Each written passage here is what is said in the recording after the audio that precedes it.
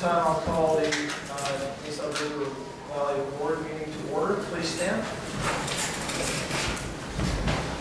Pledge allegiance to the flag of the United States of America and to the republic for which it stands, one nation, under God, indivisible, with liberty and justice for all. Okay, item three, board reorganization. Um, All right, so superintendent will swear in the new board members. If I could have you three gentlemen in, please stand. Raise your right hand, we're actually allowed to do this in unison, so just kind of, I'll start you off, say aye, and then you can insert your name and go nice and slow, like the pledge of allegiance. Okay, ready? So aye. I, Steve Yackey, your solemnly swear that I will support the Constitution of the United States, the Constitution of the State of Washington, and will faithfully discharge the duties of Director of the Naselle-Grays River Valley School District, one fifty-five, Pacific County, State of Washington, to the best of my ability. Nice. Official. Welcome. There's some papers you officially have to sign and kind of seal the deal, so.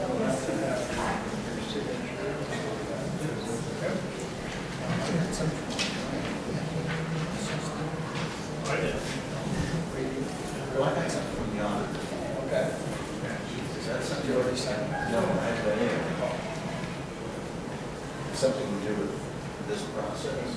This is the swearing in, basically, you have a I'll, I'll- justice of the peace or a leave, you got leave.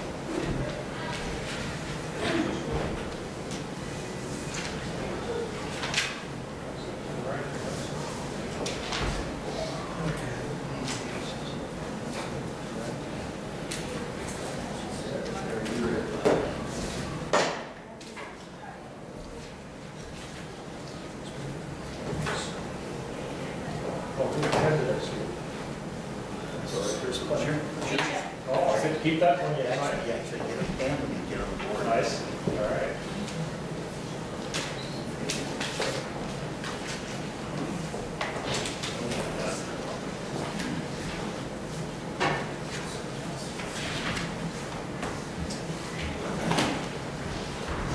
Okay, that done. All right, well, at this time, I'd like to welcome the new board members to the board. Um, Looking forward to working with all of you guys, and we need one more, uh, one more board member, so we're looking forward to filling that spot, so um, I guess, having said that, we'll move right into uh, uh, reorganization of the board. So this time, I would call for nominations for board chair. Mr. Chairman, Yes. I move to nominate Robert Corba, board chair. I second it. Okay, it's been moved and seconded. Any other, let's see, we need, need to ask for other nominations, I believe. Um, Are there any other nominations? I'll ask, uh, actually, three times. Are there any other nominations? One last time, are there any other nominations for chairman of the board? Trying here. All right, it's been moved and seconded. Um, Do we need a roll call on that one? Okay, we'll take a roll call vote. Uh, Buddy? Yes. Steve? Yes. Josh? Yes. And yes for me. So motion carries. Okay, uh, nominations for election of vice chair. Do I have a nominations for vice chair? Mr. Chairman, Yes. I move to nominate Bud Strange, vice chair. Okay. Um, Any other nominations? I'll go three times. Any other nominations for vice chair? Any other nominations for vice chair? All right, if there's no other nominations, did we get a second? I'll second. Okay, been moved and seconded. All those in favor of Buddy Strange as vice chair will um, go a roll call vote, signify by saying aye or yes. Buddy? Yes. Steve? Yes. Josh? Yes. And I vote yes. Okay, motion carries. Buddy Strange will be the vice chair. All right, nominations for leg- uh, legislative representative. Any nominations? Mr. Chairman, may I make a comment? Yes. Um, I'd like to suggest we postpone filling that until January 14th, Okay. where we have the fifth board member in place. Okay. Okay, um, are there any, um,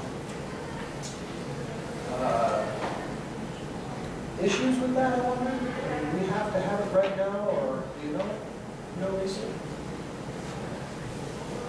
No, technically, we're not supposed to do it this year, but the the reason we're filling it is because Paulus Oh, was yes. legislative representative. Right, right. I think we could get one, but Okay, so, When do they meet again? um, that's a good I question. don't know, legislatures in session, so. Sooner sooner the better. Um, Yeah, I don't know. I, I, I assume that there's probably not a problem in postponing that. Um, I suppose if we had to, we could, uh, we could nominate a temporary or something if we have to, but, um, I actually don't know if we need one right now. So I, I could make a formal motion to postpone it. Okay. If that's what you want. Um, I, I think that probably would be proper. Let's, let's do that. Let's postpone it to the January meeting. Okay, I, I, I move to postpone the election of legislative representative to the January regular board meeting. I second it. Been moved and seconded to postpone the election of legislative representative to the January meeting. Um, I think we can probably just take a a total vote on this, try to make a roll call. So all those in favor say aye. Aye. Those opposed, motion carried. We will move that to January.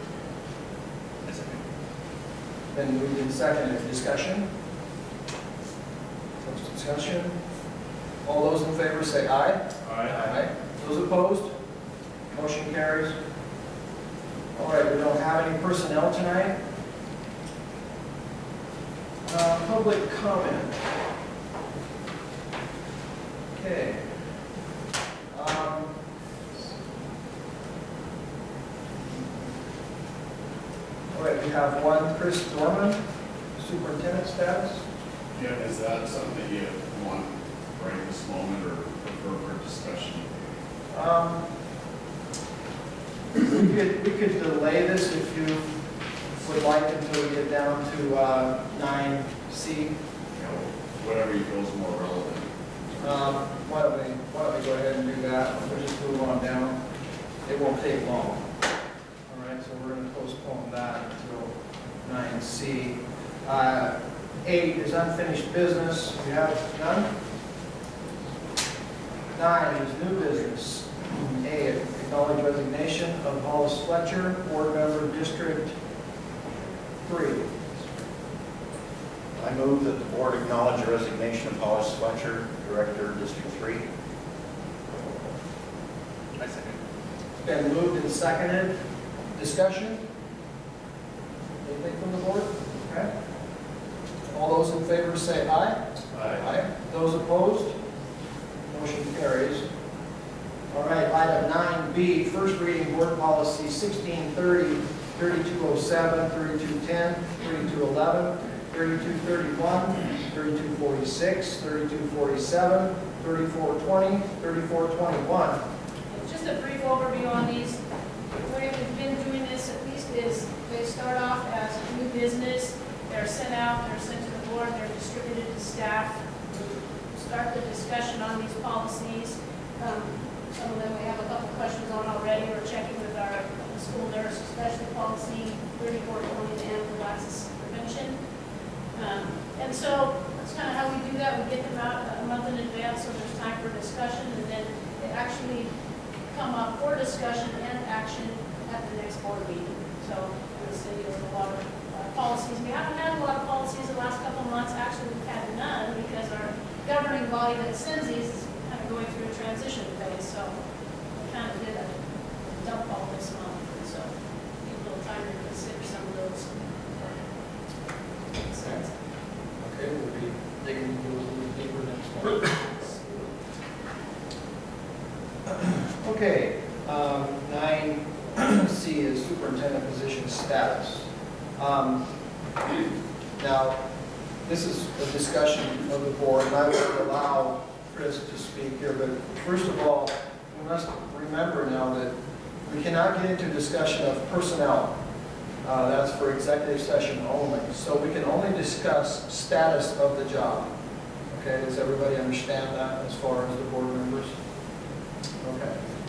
Uh, Also, probably should kind of stay away from personnel things, Chris, pretty much, right? Okay, so I think I'll have Chris speak first, and then we'll get into our discussion amongst board members. You have the floor. Okay, so am I allowed to speak about Lisa then? When you say personnel, I, I mean, it's nothing that. I, I think you're When I fine. think personnel, I think about performance stuff and Yeah, I, I think that you're probably fine as far as the public, but as far as the board goes, we have to. Okay, so I, I just kind of, I know that, making a commitment to a superintendent, um, that position and an appointment and a contract is something that's on the table for this board, uh, and, and I know that your preference is to wait until that fifth board member's on the board too, so they can weigh in on that.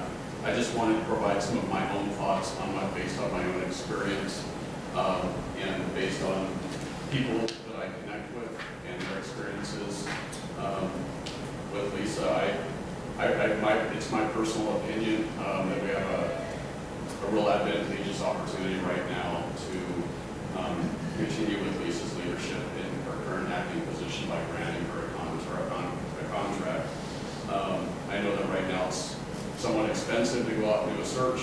Um, I think anywhere in the neighborhood of seven to ten thousand dollars is kind of the current value on that exercise. Um, I know that some past superintendents have not been appointed as a result of the search, so I'm guessing that within the process of actually appointment, that there is some leniency in terms of how the board arrives at a decision to appoint someone. Um, In fact, I think even the last superintendent, there was no superintendent search conducted. Um, So I, I think the thing that I, I just want to share is that me personally, um, I do have some concerns about some of the risks that are involved with the superintendent search process in terms of arriving maybe at a conclusion for the preferred candidate to be existing from some outside community, whether um, it's in-state or out-of-state. Um, I think you begin to take on some risk in terms of um, their history with their profession, their career. Um, I also would be concerned about their commitment long-term to this school district. Um, And also, just wondering if this is something like a chapter in life that they're planning on trying to achieve even before they're done with their career. Um, I think the advantage that we have with Lisa is that we know a lot about Lisa. Um, We, she has the ability to engage um, the team as evidenced by um, the team that she has out at the Naselle Youth Camp. Uh, I don't speak about Lisa specifically necessarily with all the teachers, but I do see a team of employees that seem to be pretty happy to be there, uh, serving the kids that we serve out there.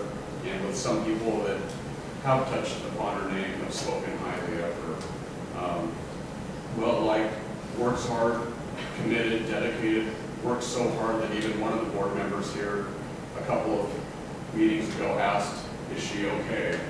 Because she is not only acting in the current superintendent role, but also the principal of the Naselle Youth Camp.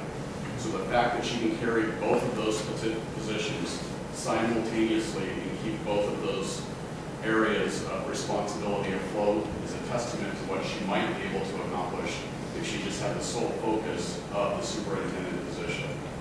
Um, She lives in our local community, here just down the road. She's tied to the community, she grew up in our community.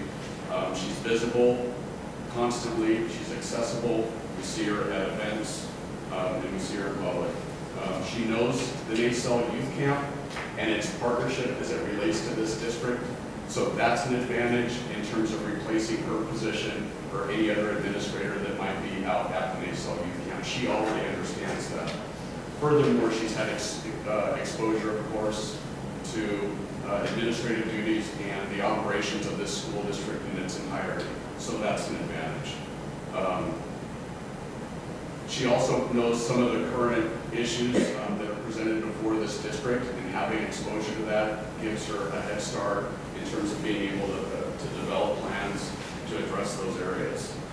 Um, And I also believe that Lisa is someone who, over the course of her career, has been led and has been supervised by certain individuals, and she knows what's been effective in terms of her interactions and experiences with some of those people, and what's uh, effective and what's ineffective with others. Um, So it's my opinion that um, there's no need to take a lot of risk by bringing in someone who's an unknown and wondering how they will commit to this district, um, how good of a communicator they'll be, how good of a leader they will be. We already have it here uh, in this district right now, and I would like to see Lisa to be able to develop and share a little bit of what she's been able to accomplish with her faculty out at the youth camp and spread that district wide. Thanks. Thank you. Okay, this time, um, we'll just open up the discussion to the, to the board. Any of the board members would like to lead off, that would be fine. Any- Anybody that wants to start would be great. Steve? Mr. Chairman? Yes, sir. Um, Well, I just think it's important that we're here right now to discuss this, uh, not only for us new board members to have an opportunity to talk about it, but also to allow the community to have a say in maybe where maybe we may go with this. Um, And it's not about, to me, it's not about the individual, it's about how we're going to structure superintendent position down the road. Are we going to do a search or not do a search? Uh, That was something that was raised, that was something that was actually stated by the previous board. Uh, Personally, uh, I've been through that rodeo, uh, and it's a crapshoot. Uh, You're rolling the dice, uh, and you're spending a lot of money. All of us attended WASDA. Current, current estimated cost for a search is seven to ten thousand dollars. And uh, if we were to go down that path, uh, it might be, we might find someone that really looks appealing, but in reality, after one, two, or three years, the board gets to know that person, the community gets to know that person, vice versa. You know, it's been, how long's it been since Dick Raymond-Horst has left? And how many superintendents have we had? I think it's seven, I think. Um, Nine? Okay, thank you, Marilyn. Um, I, I, I think we have an opportunity here, uh, maybe to uh, rectify that issue, provide some stability in this district, so not only the board and uh, community have some uh, feeling of uh, stability, but also staff. And uh, so, you know, I, I would, uh, my, my personal view is to not, not pursue a search. Uh, I think we've got someone, the little bit I've been around, what's going on in the school district in the last couple of months, the communications I've received are just the law beyond the pale uh, compared to what I've had in, in previous administrations. Uh, It's, I mean, everything is to detail and, and it's spot on and it's timely. And all of those things are very, very important to me. I, I have a need to know and, uh, and it's usually yesterday. And, uh, so, um, that's just my two cents on the process and where we might go from here. But, uh, All right, thank you. Uh, Then Josh? Uh, Well, I'm not sure uh, what the actual timing we're looking at for making this decision. I guess my only input, other than what Steve has to say, was uh, I'd like uh, comment from the community, and uh, just like Chris has commented, I'd love to hear more of that, and I will solicit uh, that from people, and I hope the rest of the board does as well. Uh, Help us formulate that decision, bring that, back that information whether it be the next board meeting or uh, our uh, protocol is. All I'd have to add is, uh, I would think it'd be a good thing for us to hear what the staff here have to say also, as they're the ones who are gonna have to directly work under the new superintendent. And I, uh, I couldn't agree more uh, with, with all the board members, actually. Um, I've had the opportunity to work with Lisa now for, well, directly, for at least six months now, or close to that. And, um, and we're gonna be a little bit careful not to cross the line here in personnel, but, um, you know, as, from, from what I see is we went from situations that just never seem to heal up to somebody who um, is a problem solver and, and wants to get in there and, and make things right. But on the flip side of that, I think she's kind of a tough cookie too, you know, when need be. So, you know, I'm pretty impressed actually, I think we're very fortunate um, to have Lisa right here, basically in-house, um, that. And, you know, to kind of speak to what Steve was saying as far as a search, um, it was more of a, sort of a timing thing. Um, I think we sort of brought that up, um, because if you're going to search, you need to search early, you know, and so if that process was going to start, we wanted to start early so that we would get the biggest candidate pool that we possibly could. And, you know, whether that was ever going to actually happen or not, we at least needed to get that process started, you know, in the works if, if that's what we're going to do. So, um, as far as I'm concerned, um, although I would like to hear from more community members, staff members, Anybody that would like to speak, uh, I'm perfectly fine with that right now, actually, if anybody would like to speak, whether you're signed up or not, because uh, we really need to hear that. Uh, We need to hear it from the staff. Sure.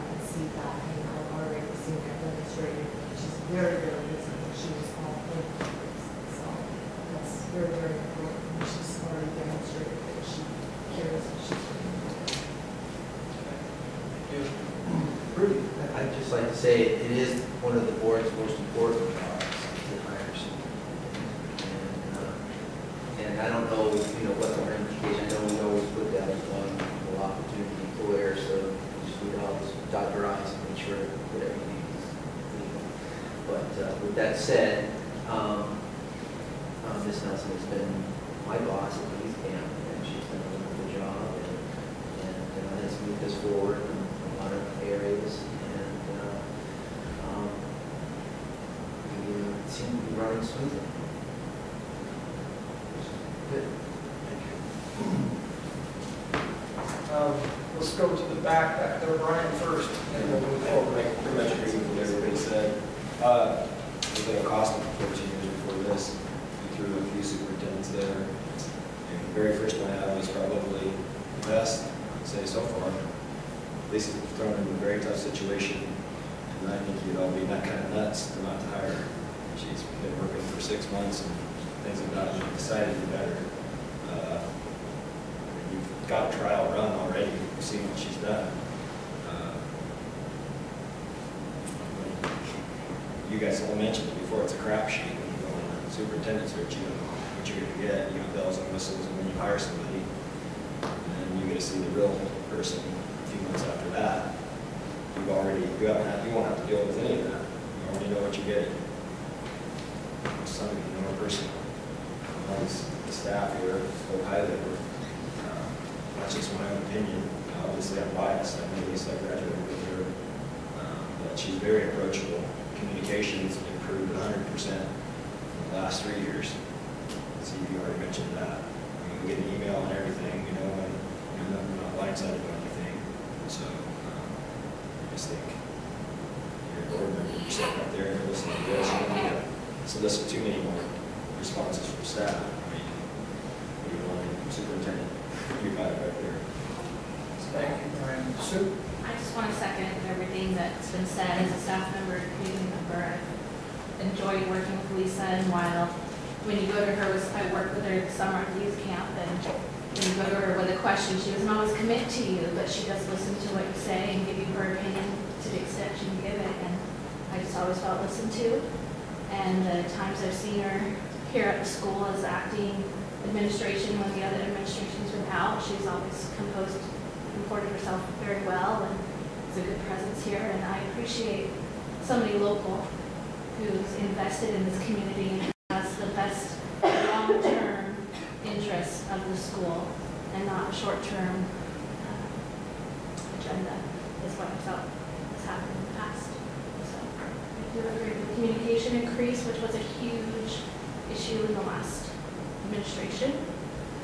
And I think that, yes, we could get somebody amazing from out there, but I think we already have somebody wonderful and amazing here. Thank you. Chuck? Yeah, I just had a question regarding how the process works. Um, And I, I, I do agree with the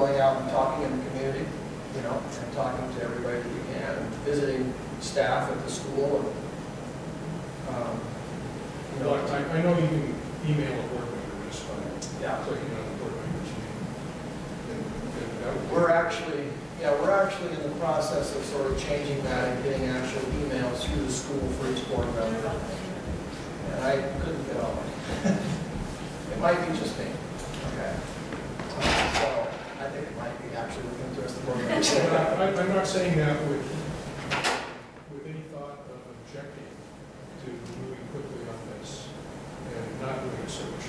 I'm just saying let's not ignore the community. Right, right. And, and I, I totally appreciate that. Um, and I, I don't know that we're really gonna get a different response, but it is very valuable to know what the community thinks. Um, So, we'll be talking about that a little more, I'm sure, in the future as to how we can, you know, for right now, we can get in the community and talk to people and, you know, it seems like, you know, there's never really enough time, I know for myself, uh, to get up here and be able to, to talk to staff. It- It's tough, you know, and, and each board member has a little different situation.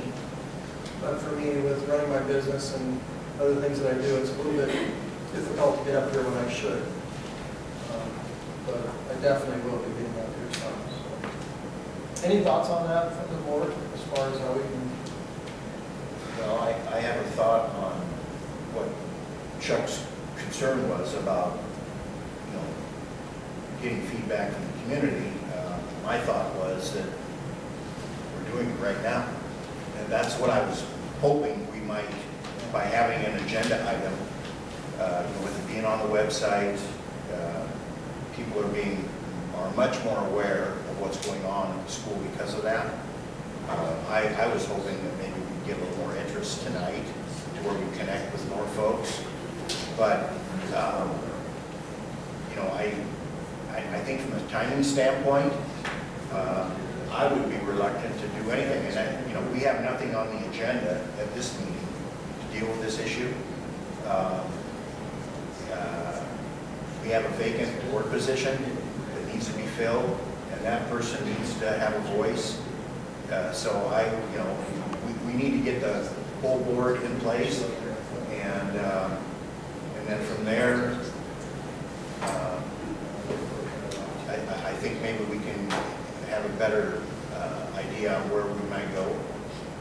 But um, I, I think it's extremely important, and I very much value what our community thinks. Um, And um, I do not want to assume anything. Uh, I, want to make sure that once the decision's made, that it's, you know, we've crossed the Ts and dotted the Is, and everyone's comfortable with where we're going, and, uh, and we have support of community and staff.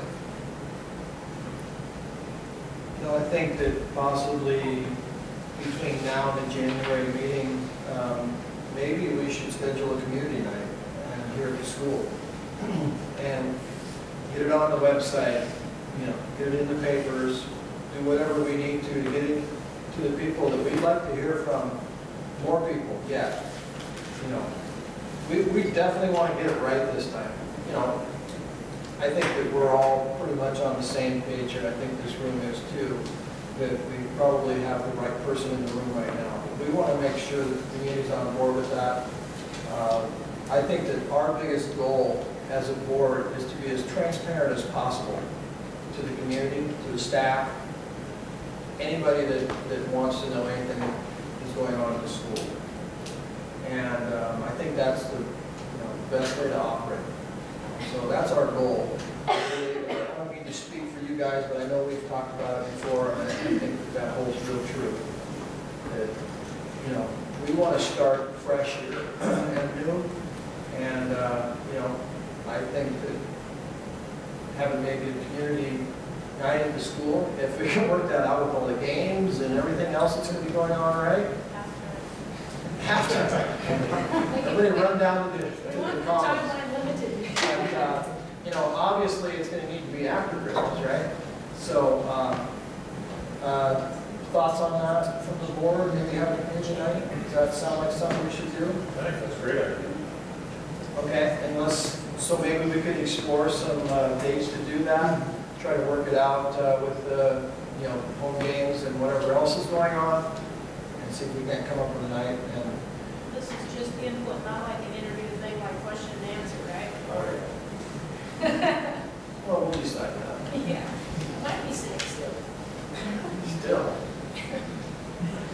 Okay, so Chris, I, I just want to add one more thing I failed to mention earlier, and something that I think of often is how directly tied even the superintendent position is to the learning experience of the student. When I think as a parent of a kid, um, who's in middle school now, um, being, receiving instruction from his teachers, and I think how important it is for teachers to feel supported and heard and comfortable and excited coming to work every day and how that translates to effective instruction so that my kid has the best learning experience. That comes through the type of supervision and interaction that they have with the administrative team, including the superintendent. And when there's a compromise in that style of leadership, then you begin to experience some hardships and problems that in, probably indirectly can begin to affect the student's learning experience. And so with that being said, I think that's how important it is um, to not take too many chances and to take advantage of the opportunity that we have in front of us. I, I think, it you know, if we're gonna do the community night, which it sounds like we probably will, I think it's really important that, you know, anybody that's here and, and, you know, is of the same thinking that most of the people that are heard, we need to, um, get people to show up, whether it's staff, board members, anybody that's in the audience here. Talk to the people that, because everybody has certain people that you talk to daily, whatever, weekly, whatever, that, that the rest of us don't. And if we can get as many people here as possible, I think that's going to be huge. Okay. Um, any- anything else? Oh, yes. I just had a question, sorry, I went over this, I must have that, but at the next uh, regular meeting, then, will you have on the agenda the hiring of the superintendent? Um, it's a possibility. You know, I, I, I can't say for sure that we will, but I would say that there's a pretty good possibility of that. Um, and I'm not gonna speak for the whole board here, but, um, you know, I mean, if you want some advertising to try and get more people to come in and discuss it, if you're gonna do that, I'll put it in the paper, you're gonna do that, you know. well, and I think that it's, it's probably important. And it's a little premature for that. I think it is a little bit premature. We don't have our because- whole board here, and I'd be reluctant to make that statement until That's a very everybody good has a point. chance to talk. That's a very good point. I think, you know, right now, we're probably okay. If we get our new board member in here in the near future, get that board member involved in this. And it kind of depends on if that new board member is in place at the next board meeting. I would think so, I hope so. And how close the community uh, input meeting, the community night meeting is to the board meeting. So that possibly, if we need to, we'll have time to get together with a workshop and maybe go over what we've learned from our community night. Possibly. We, we may need a little time to digest what we're seeing. Does that answer it at all? You know, Close enough? I mean, that's kind of around and around, right? But right back to the same spot.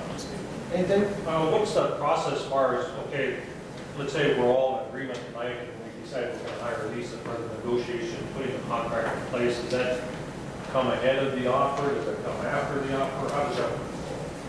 As far as the negotiation portion of that, Well, I was thinking when you said we could offer her uh, a position as early as next meeting.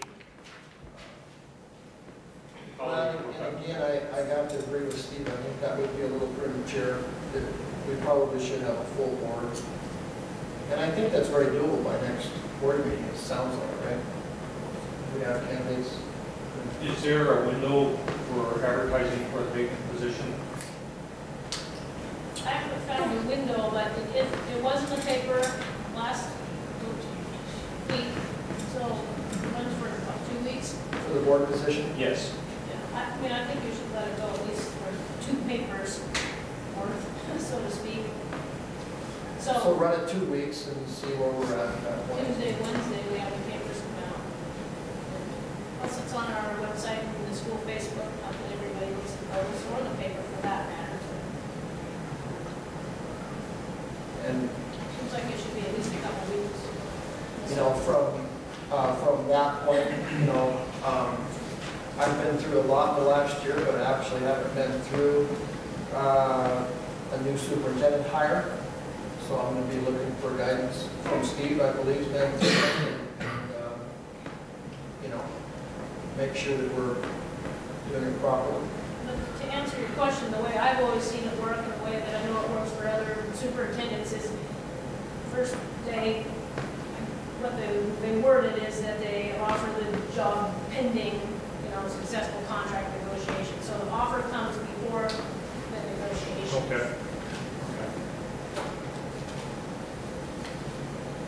So once we offer the job, then we negotiate the contract. Which is basically how mine was done. Just pretty- Wausau would be a good reference, a good check.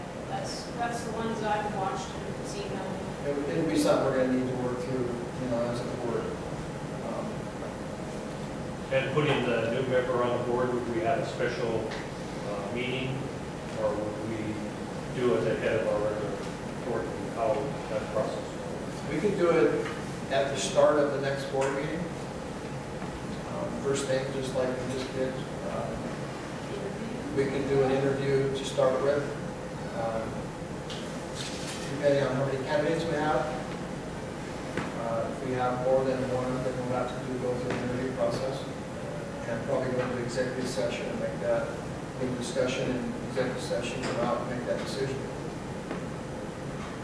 I believe is, we'll have to check, make sure. There's only certain things we can go into executive session for. I believe that's one of them.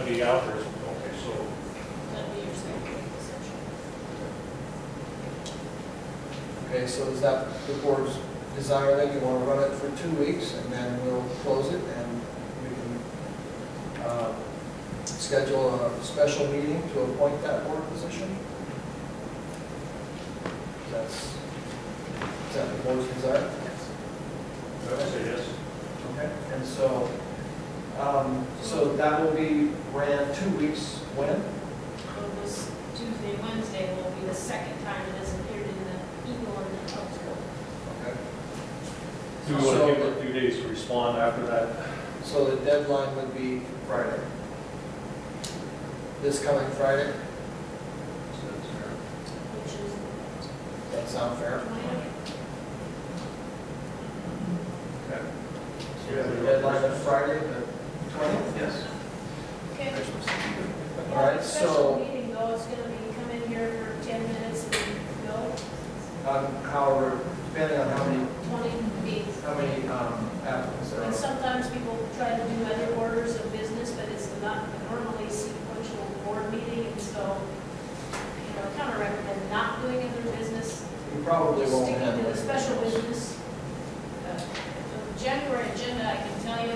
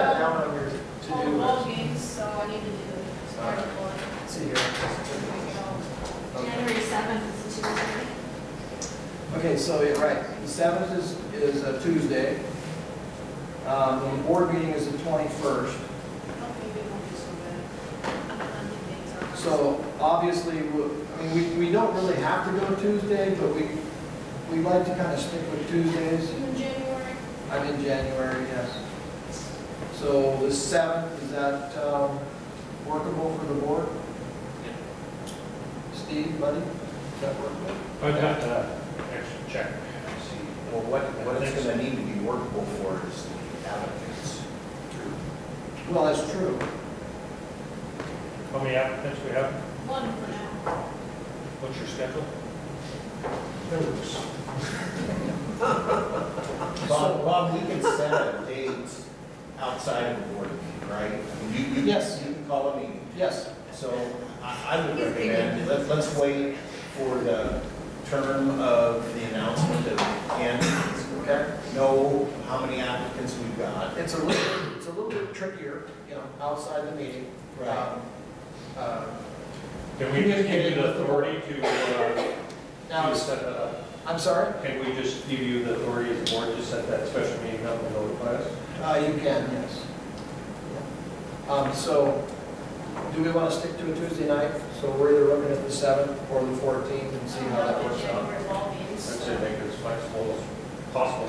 Don't set yourself to a date. Okay. We can know right away after the twentieth. I mean, by Friday, this may be a conversation. Right, I mean, we only have one hour and then Get a short meeting. short meeting. Okay. All right, well, we'll set that date then outside of this board meeting.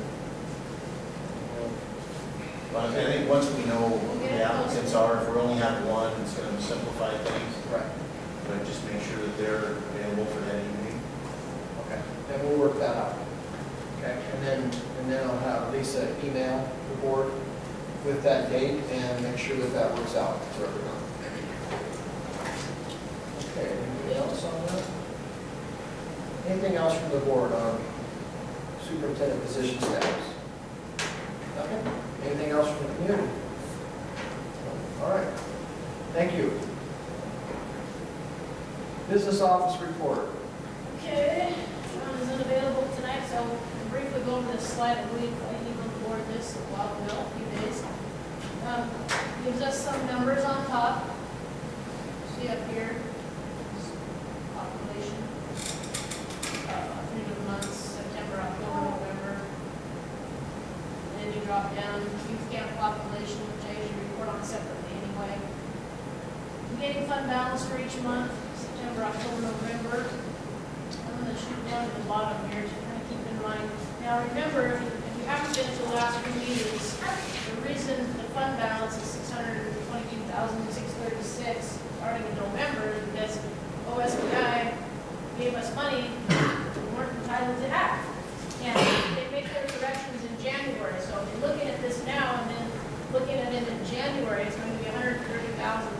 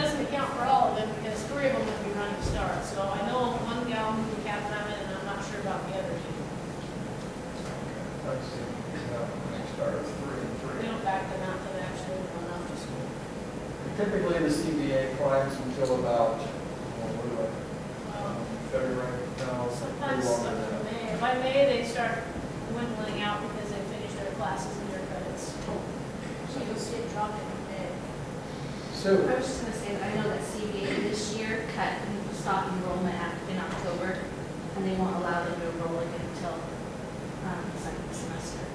So that's the addition of economy. Well, the way the state is too, if, if a student starts a class and then drops it, then they count all these dropouts against you. If they go get their GED, that's a dropout too. It's I haven't quite figured out why it is the way it is.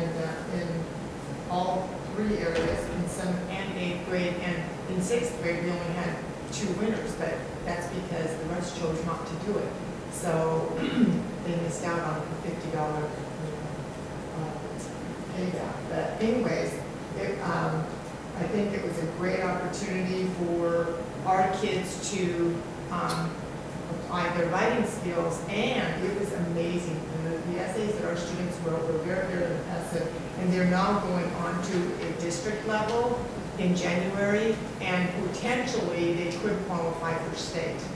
So we're kind of excited to see what Tell, happens tell with that. So we had, um, okay, it was in my newsletter, uh, we had, um, the, okay, so I. I shouldn't have I- that. Paul, Paul Bernsgard, um, and, and, um, Cole Norman, both, I believe, got the one hundred dollar, the first place. And, um, then Jacob Eaton, also in the seventh grade, um, got the seventy-five dollar. And uh, Samantha Word in the eighth grade got a fifty dollar.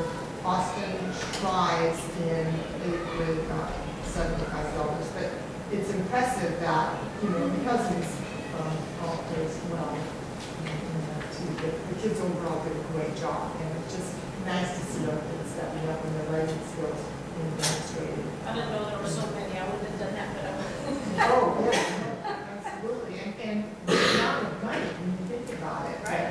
This is the first time ever that our kids have actually entered that essay contest. And, uh, and got money out of it. It's very impressive. Nice job. I didn't even know where you were. They said you just, you know, you were. Are the essays in your support and newsletter? it, it, pardon me? Are the essays in your newsletter? Um, the essays are not, but, um, the winners and the the photographs of them are. And then actually, the VFW was going to put it in the, the Observer, but he indicated that it was going to be after, I believe, after the district level winners were announced, because they didn't want to put several other in, so it should be appearing, I think sometime in January. So very, very nice. Um, then I wanted to let you know that, um, we have a messenger service, I'm not sure if you know about that. It's a, um, call out, it's like reverse nine-one-one.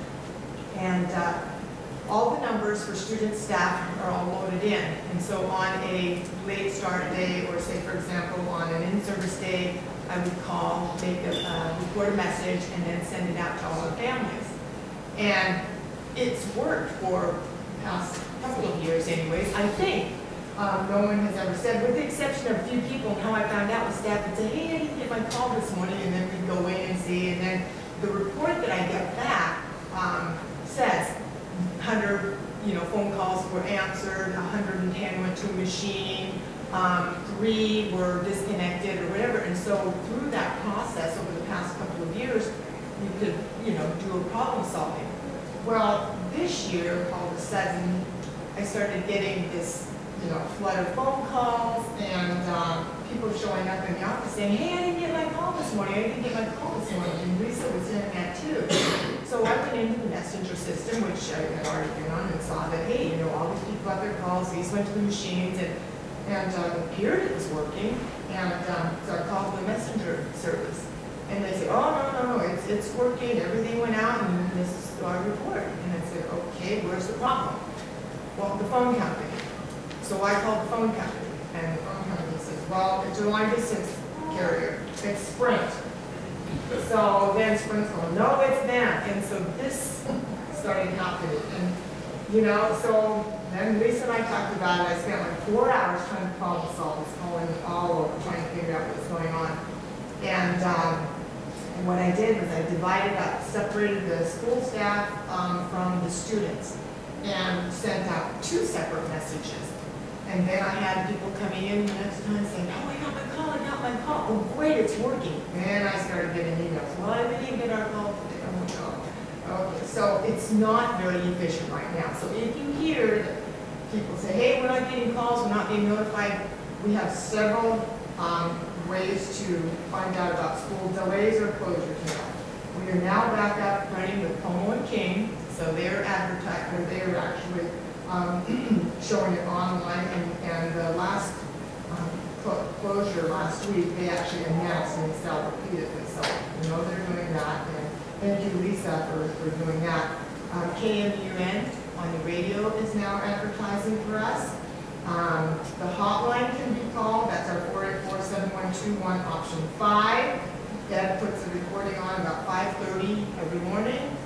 And, uh, Facebook is up and running, Mrs. Gilmore takes care of that, as soon as she gets the information, she puts it on. And, uh, and it's also on the district website, so there are many, many ways to find out um, whether or not. So if you hear, um, just direct them my way, and I'd be happy to let them know, but I also put it, um, in my newsletter that there are other ways and, all the people to, so know that. And then if you have an opportunity, to go by, um, the classroom doors in the high school and elementary, and back in here. Um, they've all been decorated by staff. It's kind of a, um, we've been doing activities monthly. We had some parents who stepped up and, and, um, helping to, um, promote just staff working together. And uh, so a lot of the, um, classroom doors have been decorated for, for the holidays. And we had a contest and, um, this room just on the other side of it is first place. Mr. Nelson, I believe, is second place. And I did not know. Mrs. Smith down at the end, uh, first grade is third place, so it's impressive, um, the uh, creativity that people had. And then our Christmas program is tomorrow night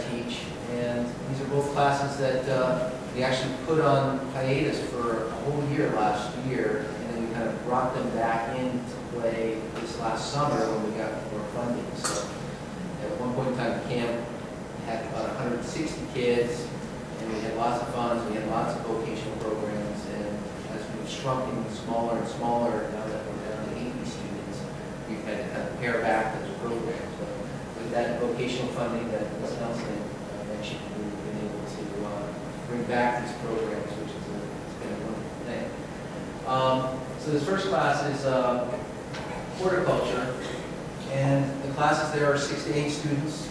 Um, they're not very big, uh, real hands-on. We do have a textbook, and we do, uh, you know, on rainy days and days when we're not working outside, we do, we do bookwork. And uh, the students are hired in the class because they benefit the camp by helping beautify it, um, so they get paid gratuity. And uh, one student is hired to help water and do a lot of maintenance in the greenhouse on the weekends when class is not. Next slide. So uh, we have a small garden and we grow vegetables and we've uh, kept to a couple of major crops. One crop is zucchini because it grows so well around here. And, uh, and we give that to the kitchen and the kitchen goes and uh, uh, feeds it to the students. Um, we have small crops of tomatoes and corn and a few other things. Uh, in the greenhouse, we've experimented a couple different years with, uh, full-on production of lettuce for the camp. Um, This year, we're doing some, a mixture of lettuce and cabbage and strawberries. Um, We've got some peas growing in there right now, just to kind of see what happens. Pretty much cold weather crops. Um, But real hands-on lots of fun. So uh, greenhouse plant starts, we grow a lot of, lot of starts. This is uh, lettuce and kale growing and kind of, this is about half the greenhouse that you're seeing in that big picture there. Um, We try to do everything real and inexpensively, so we do every, all our propagation from either seeds or cuttings or divisions. And so this would be an example of seeds, and here are big dahlia tu- tubulars, and uh, we'll divide those up and separate them, and either spread them out in beds, or we'll sell them in a plant set. All right, so we have some seasonal projects that we do. Um, We do uh, pumpkin carving. I think one of the students who was in this picture said he never even carved a pumpkin before when we went through the activity. Um, We've been uh, storing dahlias for winter, uh, currently making Christmas wreaths. Uh, Several students are taking those home and taking them to their parents. And uh, I think next up we'll start some pruning around campus with uh, four or five apple trees, so we'll get those pruned up. Um, Other things we work on is uh, reworking flower beds. We have a nice trail that loops around the school, maybe, maybe it's a quarter mile. And uh, that's one of the bridges that needs to be repaired, so we're waiting on that. And that, that last picture on the corner was a picture of a student bringing into class some seeds that he has gathered from his apples and oranges so that we can plant them and get a teachable moment when we learn on the internet that you can peel the orange seeds so that they actually propagate a lot quicker. Um, The greenhouse pretty much takes care of itself. The only issue we have is, is trying to keep things economical working out a better heating system. Right now, it works on electric, and I know the public school one is gas one. We Purchased a gas heater probably three years ago, and didn't get put into place, and we're finally kind of getting to the point where they're gonna get a tank for us and switch over to gas. And then those other pictures there were pictures of uh, barrels, and we're gonna rework all our, our tables for the beddings of the plants, and put those on those barrels and paint them black, and so they'll give us solar heat from the water that's stored in there, and so that will cut down on some of our heating costs. so. But that's a in- in-play project that may take several years to go through. Any questions on horticulture? How big of an area are you gardening? Well, there's five, six, I mean, there's six, seven acres on the camp, so every building has some landscaping. So we kind of pick and choose which ones we want to work on. Um, The garden area is pretty small, I mean, it's, you know, it's like half the size of this room. And uh, greenhouse, I want to say it's 50 by 100 feet. Um, But like I said, every, every bed on campus will be worked on. Um, The hardest part is that the camp is, hasn't had funding for what really makes landscape beds look which is purple. So that's, uh, it's been tough because the kids don't like to use too much. So when we do go into it, we go in and take it all apart and start from scratch if we can, so. Any other questions on work? I'd love to come up and see it, actually. Yeah, okay. Well, we want to have you come out and see it. Um, the aquaculture class, same thing, uh, six to eight kids, usually different kids. Um, this is a program that was started way back with Hank Nelson and Ken Emo worked on this pro- program. Um, we hire a student, this student does work every day, seven days a week, feeds in the morning and feeds in the evening, uh, the fish. Um, and also checks to make sure everything is, uh, A-okay, and you're not gonna have any issues with, uh, not enough water those types of things. Um, our textbook covers everything from history all the way down to careers and gets into all kinds of things uh, in terms of aquaculture from raising frogs and alligators. and, um, It's interesting how you can take that applicability to regular farming, which is, you know, how much you feed a fish is one-to-one ratio, food, food to growth versus, uh, um, the pig is one to three. So every three pounds of food, get one pound of growth.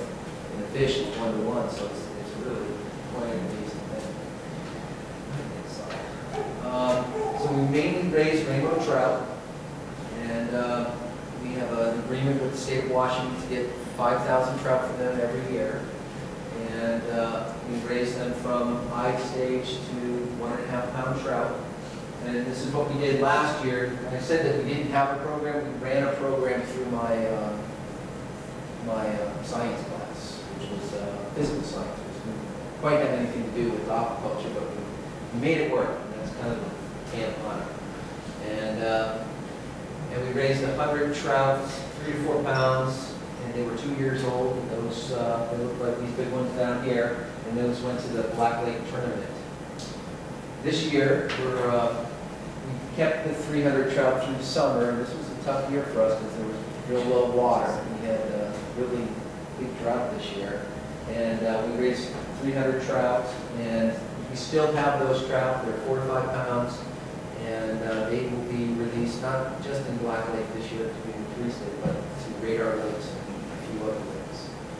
Um,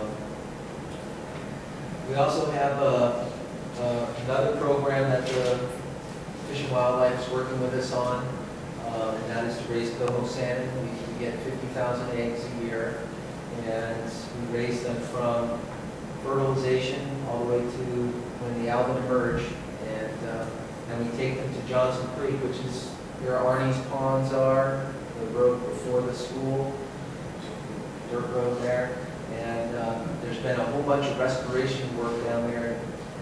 Can't really see it in this picture, but there are like chains holding some of these logs in place, so that there's nice habitat for the fish.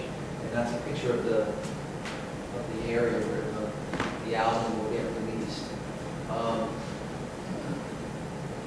In the past, we've done all kinds of different ways of doing this. We've done it with remote site incubators, we've done it with trays that sit in the water, and uh, we moved to the process of uh, raising the eggs at the Naselle Youth Camp, and then we just transport them once they're ready to start feeding.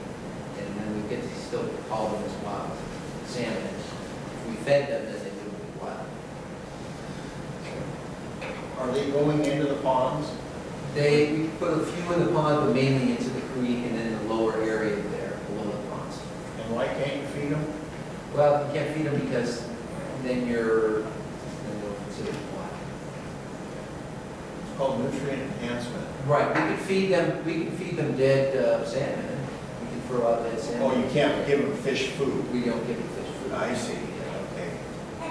That, the hatchery is actually looking for some places to ex- expand some RSI work that I've been working on. Right. And that pond site is one of the sites we're talking about. There's been no contact to landowners or anything. But I think I might maybe direct them to you, so there's some coordination there. That's You know, At least that they know that we are already doing some things there. Right. Yeah. Um, And then we've been doing this for 15 years. I mean, we've been putting salmon in that area for 15 years. And um, I haven't talked to uh, Ms. Archer recently to find out how many fish are coming out that way, but uh, it would be interesting to know. All right, go ahead, Lisa, next slide there. So, uh, last two years, we started a new thing, and, and what this did was it, it did two things for us. One is it, it brought the fertilization process right to the camp. And the plus for us is it's getting really hard to get the kids off campus. It used to be I could take a station wagon, three kids in the car, and drive them down naturally. It was really easy to get off campus. Now, it's much harder to get off campus, uh, there's less staff. And anytime we take more staff, it it does create a risk on campus. That's folks. So we've co-opted with this uh, R&D group out of Astoria called Red Zone. Roger Warren and Todd Jones, and they've uh, created this foggy incubation system. And we go to the Naselle hatchery, we get, the day we go, we show up, we get 20 pairs of salmon, and we get the eggs and the, the milk, and we put it in plastic bags, and we it in a, in a um, cooler, and take to youth camp, and meet up with kids, and mix the eggs there. And uh, once we mix the eggs, uh, we then do, um, uh, not formaldehyde, it's called iodophor, which is a, a- an iodine, which then gets out the bacteria that's with the eggs. And then we let the eggs sit in this iodophor for a bit, and it gets rid of the bacteria on the eggs and rinse it off, rinse them off good, and we put them in these trays. And they sit in the fog for about forty-five days until they're at the eye stage. So we're getting them from fertilization to eye. And then the kids will get the opportunity to pick the eggs right on campus. And, uh, and then we'll keep them, we actually have a hopper instead of this. We can either put them in the trays or we can put them in a hopper. And um, they'll stay with us and then we'll take them in a big uh, Tupperware container and let them out all over the area up there. And so this has been, this has been fun to have expertise folks come to the camp and um, it's been good learning experience for us. It's been good for those guys, RDs, they're learning a lot. We've got some unique situations that aren't perfect. We've had to, I think the first year we had just this box and then they moved to something that they call a chiller, which that chills this part it colder. This last year, they added this filter in, so we can filter the water ahead of time. And uh, we did have some loss this year, and still, is- there's bacteria in the water that we have. Normally a hatchery does formaldehyde, and uh, this operation is supposed to make it so you don't have to use formaldehyde. That's their big plus. But we did still have some egg loss because of uh,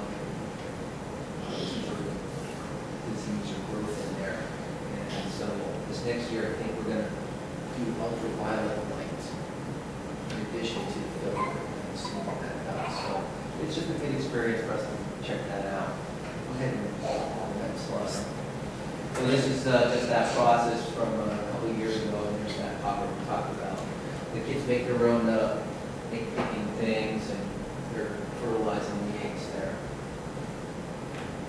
Um, And then we've had some hatchery field trips, we've had one so far this year, but in the past, uh, the kids have gotten to uh, collect the uh, eggs and milk, they've got to spawn salmon.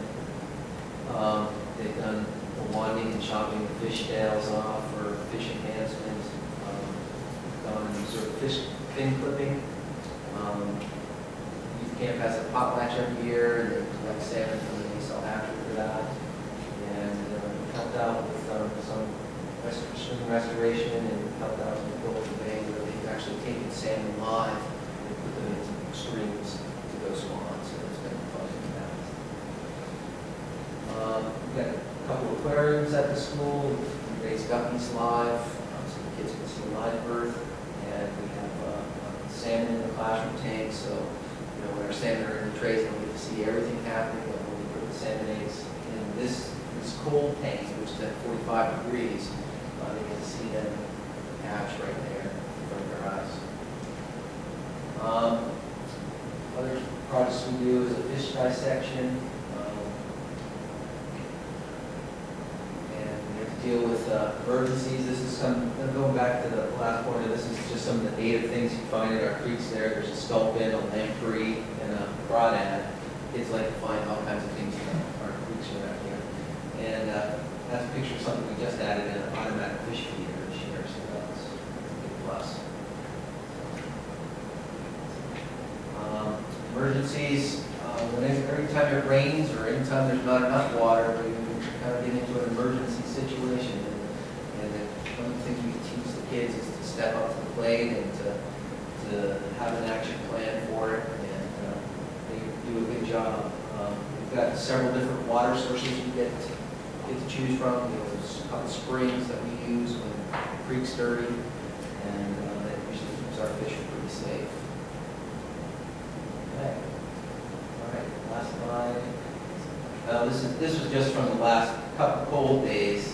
It was just kind of fun. We were looking at that the other day and I just thought I'd show you guys. But what was interesting about this, this line here, this line here are basically the same ones in Fahrenheit. And this is the, uh, inside the fogger temperature. So that was inside the incubator. And you can see that the fogger stayed about 37 degrees, so it never got to freezing where the eggs were. But the outside water got almost 32 degrees, so it almost got to freezing when it was 17 degrees outside. And then this last one, so you can see that here, it's 17 degrees, the water is almost 32, but our fogger is, the eggs were good, so. Any questions on the aquaculture front? There's a lot, I showed you a lot. Feel free to stop by. We have uh, afternoon classes, so. Yeah, I have no having two classes? Um, our class is, uh, two o'clock, about two ten. About two ten, and for, and is at one o'clock. What else there? And, uh, the hatchery, Maple Hatchery provides, you know, all the food for us, and provides the eggs, provides the, um, they transport the fish for us, we can go with them. Provide the, pretty much everything, they provided the buckets for our uh, greenhouse, they provided the automatic fish feeder, so it's been a real good relationship that, uh, that we've built over the years with them. And uh, the youth camp kids working there in the hatchery, helping